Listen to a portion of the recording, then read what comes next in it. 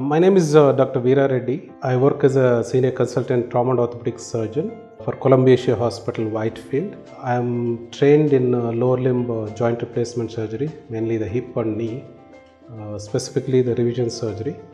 And I've been uh, working uh, in Columbia Whitefield since this hospital has started.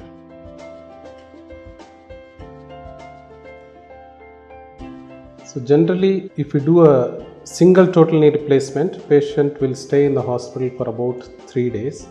Whereas if we do a bilateral simultaneous knee replacements, patient will stay in the hospital for about five days.